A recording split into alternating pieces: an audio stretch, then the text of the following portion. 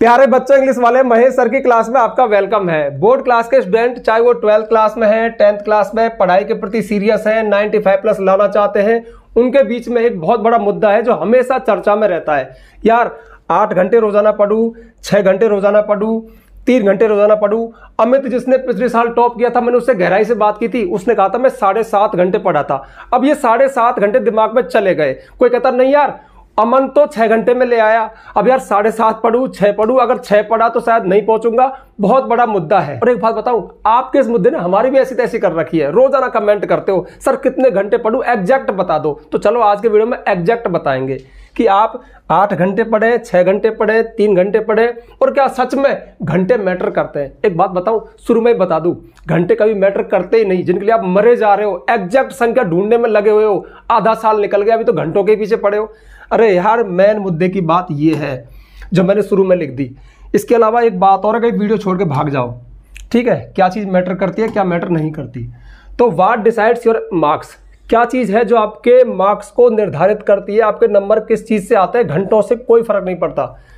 तो वो तीन चीज़ें हैं। सेवेंटी परसेंट, मुद्दे की बात बता रहा हूँ डायरेक्ट ही रिविजन्स आपके कितने रिवीजन हुए? क्या आपके रिवीजन पर्याप्त हो गए? क्या आपको कंटेंट याद है? एट लीस्ट फोर कम से कम चार रिवीजन तो होने चाहिए। अब ये चार रिवीजन जितने टाइम में हो जाए, आप दो घंटे रोज़ाना पढ़ो, आप आठ घंटे पढ़ो, आप छह घंटे पढ़ो, दुरुस्त चाहिए।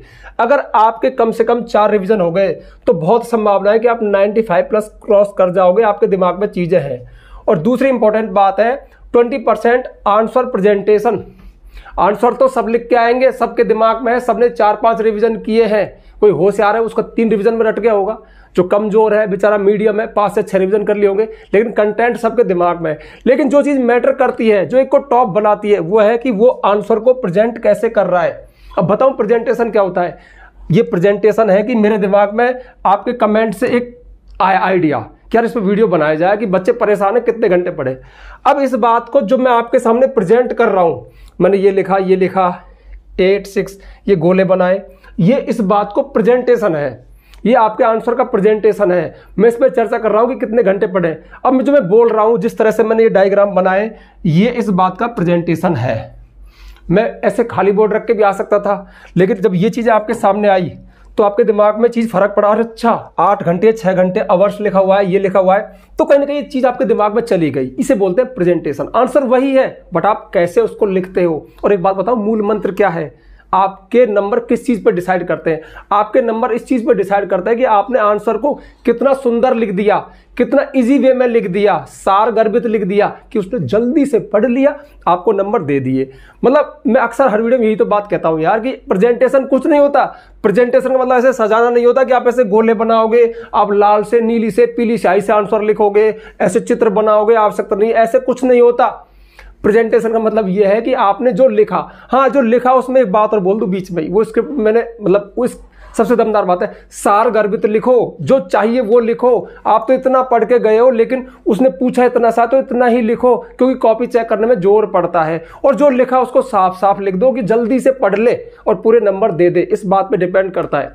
टीचर को कभी भी जैसे कि कोई बच्चा हंड्रेड परसेंट भी ले आया और क्लास में बहुत होशियार है, उसका नाम है, पूरे एरिया में नाम है, उसकी कॉपी भी जाएगी ना तो ध्यान रखना कोई पहचान के साथ नहीं जाती कि ये तोप सिंह है, ये हवा सिंह है, ये तो इसकी कॉपी में विस्फोट हो रहा है, इसकी कॉपी कंपन कर रही है, कोई कंपन कंपन नहीं करती, को उसको, उसके पास कॉपी का बंडल है, वो फटाफट से आंसर सटीक है, अच्छे है, फटाफट से आपको नंबर देता चला जाएगा।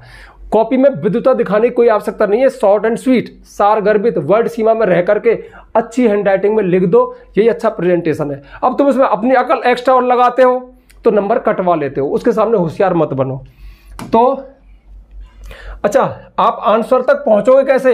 मेन चीज़ तो कंटेंट है, वो है कि 70 परसेंट रिविजन काम करता है 20 परसेंट आंसर प्रेजेंटेशन दो बच्चे हैं सेम सेम याद है कंटेंट दोनों को आंसर याद है। लेकिन एक ने चालाकी दिखा दी। पूछा इतना सा, इतना बड़ा लिख दिया, टीचर हो गया रिटेट, नंबर उड़ा दिए। तो प्रेजेंटेशन का मतलब होता है कि जो पूछा वही लिखो। अगर किसी के फादर का नाम पूछा तो सिर्फ़ फादर का नाम लिखो, साथ में मदर का नाम भी मत लिखो। तुम ये मत बताओ कि सर, मुझे तो मदर का भी पता है। मदर का इसका मतलब है कि आप एक्स्ट्रा लिख रहे हो। एक्स्ट्रा नहीं लिखना है, जो पूछा वही लिखो। हाँ आप साइंस वगैरह में, जहाँ पे जैसे आप अपने, मैं तो इंग्लिश पढ़ाता हूँ। अब जैसे नोटिस है, उसका डायग्राम अच्छे से बनाओ बॉक्स वगैरह, जो चीज़ जहाँ से स्टार्ट कैसे होगी फिनिश कैसे होगी मेन बॉडी क्या है वो अच्छे से होने चाहिए, उनका फ़र्क पड़ता है। तीसरी बात है, सबसे ज़रूरी बात, सबसे ज़रूरी बात, तुम चाहे बीस घंटे पढ़ लो, चाहे तुम आठ घंटे पढ़ लो, चाहे तुम्हारा पूरा कंटेंट याद है, बीस परसेंट योर लक भी काम करता है। टीचर का मूड कैसा है? अब ध्यान रखना, मूड तो आप ही बनाओगे उसका। अब एक बार बताओ उसका मूड पहले से बिगड़ा हुआ है और आपने कॉपी में तांडव कर रखा है। अभी एक तांडव वाली वीडियो दी थी ना आप उल्टा सीधा कर दिया, इसको यहाँ लिख दिया, वहाँ लिख दिया, छोटा लिख दिया, बड़ा लिख दिया कट कर दिया, फिर सही कर दिया तो कॉपी को बिगाड़ दिया। अब उसका मूड पहले से बिगड़ा है, वो आप पे घास गिर जाएगी, आपके नंबर उड़ा देगा। हो सकता है, ऐसा भी होता है, मैंने देखा है। बहुत सारी चीज़ें एक्सपीरियंस किए बहुत साल में, कि आपने थोड़ा सा कम क्वालिटी का लिखा है। आंसर पूरे भी याद नहीं है, फिर भी आपको पूरे नंबर आ जाते हैं। उसका मूड अच्छा है, आपके सारे आंसर्स में से उसको कोई एक चीज़ ऐसी पसंद आ गई, अच्छी लग गई, उसके दिमाग में बहम हो गया, भ्रम हो गया कि आप टॉपर हो, आप तोप सिंह हो, और वो तोप सिंह की मानसिकता से उसने सारी कॉपी चेक कर दी, ऐसा भी हो जाता है। लेकिन बहुत कम चांसेज में आप इस चांस को अपने ऊपर मत ले लेना कि मेरी जब कॉपी आएगी, उसका मूड अच्छा हो जाएगा, मेरी एक चीज़ देखेगा, मेरे सौ नंबर आ जाएँगे, ऐसा नहीं होता। ऐसा सिर्फ़ पाँच परसेंट केसेज में ही होता है। नाइन्टी फाइव परसेंट केसेज में आपका कंटेंट आपका आंसर आपकी मेहनत वर्क करती है। तो ये तीन चीज़ें हैं जो काम करती हैं। मेन चीज़ तो ये है पढ़ाई, ठीक है? उसके अलावा फिर टाइम मैंने यहाँ पे साफ़ साफ़ आपको वन वर्ड का आंसर दे दिए एक एक शब्द में उत्तर है। टाइम कितने घंटे पढ़े, क्या मैटर करता है? नो मैटर्स कोई मैटर नहीं करता। आपको कंटेंट दिमाग में पूरा है। उसके लिए आप तीन घंटे, अब कोई बच्चा दो दो घंटे पढ़ के कर लेता है। कोई आठ आठ में नहीं कर पाता, वो अलग मैटर है। लेकिन तीन से चार रिविजन क्या है? रिविजन की काउंटिंग थोड़ी होती है। आपको दुरुस्त, अब देखो रिविजन हाँ इसको कैसे डिसाइड करें? आपने कोई एक रिविजन में एक चीज़ अच्छे से पढ़ी, आपके दिमाग में फुल याद है। एक घंटे बाद पूछ ले ले, अभी बता दिया। लेकिन क्या एक महीने बाद बता सकता है? तो एक महीने बाद धुंधली पड़ जाएगी। ये दिमाग का मैकेनिज्म है कि चीज़ें ताज़ा ताज़ा याद रहती है, बासी पुरानी चीज़ों को भूल जाते हैं। तो एक महीने बाद फिर से खंगालने की आवश्यकता है, फिर से मेमोराइज करने की आवश्यकता है। फिर दो महीने बाद टटोल के देखना, कुछ फिर भी उड़ जाएगा। लेकिन जब चार, पाँच बार, उनमें से एक, दो बार तो लिखित होना चाहिए, लिखा होना चाहिए, तब जाकर दिमाग चीज़ें दिमाग में दुरुस्त है। इसलिए मैं चार, पाँच रिवीजन को रिकमेंड करता हूँ। क्योंकि एक, दो रिवीजन में तो बहम ऐसा भ्रम से हो जाता है कि याद है। लेकिन ध्यान रखना, वो अल्पकाल के लिए है। अगर लॉन्ग टाइम के लिए, हमेशा के लिए याद रखना चाहते हो तो चार, पाँच रिविज़न करने पड़ेंगे। तो अब ये टाइम मैटर नहीं करता, वो चीज़ आप कितने समय में करते हो? अगला पॉइंट है रेगुलरिटी यानी कि नियमितता। आप रोज़ाना पढ़ रहे हो नहीं पढ़ रहे हो a little matter a little matter थोड़ा मैटर करती है।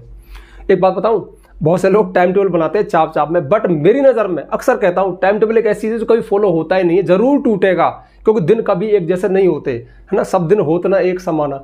हो सकता है कि बीच में आपके घर में कोई आकस्मिक काम पड़ जाए, आप घूमने जा रहे हो या आपकी फैमिली में कुछ और सडन कुछ बेकार हो जाए, कुछ अच्छा हो जाए, कुछ अच्छा इवेंट हो जाए, कोई बर्थडे है या फिर अचानक कोई शादी आ गई, वो तो टूटेगा। तो ये थोड़ा हाँ ऐसा भी नहीं है कि अब इसको बिल्कुल एकदम से बिल्कुल पंक्चुअल ना हो, ना। थोड़ी रेगुलरिटी अच्छी बात है। हाँ दो तीन दिन के लिए मिस हो जाओ। मिस तो क्या? मतलब आप नहीं कर पाए, उसको आगे जाके कवर कर लो। अरे चार पाँच रिवीजन कर रहे हैं, तुम उनको दिन में दस दस घंटा करके कर लो, फिर कभी एक एक घंटा करके कर तुम्हारा काम है, उसको कर लो। करना ज़रूर है। मेन बात तो मैंने पहले लिख दी। वाट मैटर्स क्या चीज़ है जो मैटर करती है? Self study self study self study इस पर तो मैंने बहुत सारे लेक्चर दिए हैं, बहुत सारी वीडियो बनाई है कि जो बच्चा फुल टीचर पे आश्रित है, उसका तुक्का लग सकता है। वो रट्टू है, लेकिन जो बच्चा खुद से कौन अवेयर है कॉन्शस है कि यार पिछले साल क्या आया था? फिर लास्ट ईयर के प्रीवियस पेपर्स देखता है मॉडल पेपर्स को देखता है, खुद की स्ट्रेटेजी बनाता है नोट्स बनाता है सार गर्भित लिखने की कला जानता है। भ्रमत मानना, हो सकता है कि आपका टीचर अभी नया नया आया हो, उसको ज़्यादा पढ़ाने का अनुभव ना हो, उसने बड़े बड़े आंसर लिखा दिए हों, है? लेकिन वहाँ पे चाहिए short and sweet word limit fix जो पूछा उतना लिखो, चार लाइन में तो चार लाइन में लिखो हाँ चार में पाँच हो जाए, तीन रह जाए, अलग बात है, पर ये नहीं कि चार लाइन का आपने दस लाइन में लिख दिया, वो गलत बात है, और आपके टीचर को इस बात का अंदाज़ा नहीं है। भाई टीचर भी तो न्यू कमर हो सकता है, नया हो सकता है तो उसने इस तरह से कर रहा है तो सेल्फ खुद की अवेयरनेस लाओ टॉपर से बात करो, है ना? पिछले साल के पेपर देखो कि मैटर तो इतना सारा है कि पूछा कैसे जाता है, किस चैप्टर में से आने की ज़्यादा संभावना होती है, बड़े कैसे आते हैं, छोटे कैसे आते हैं, इस तरह की बातें। तो ये सेल्फ स्टडी में आती है। एक हमेशा रिटर्न रिटर्न लिख के मेहनत किया करो। अवर्स कितने फिर भी लास्ट में भी कहीं सर बताई जा, बताई दो यार।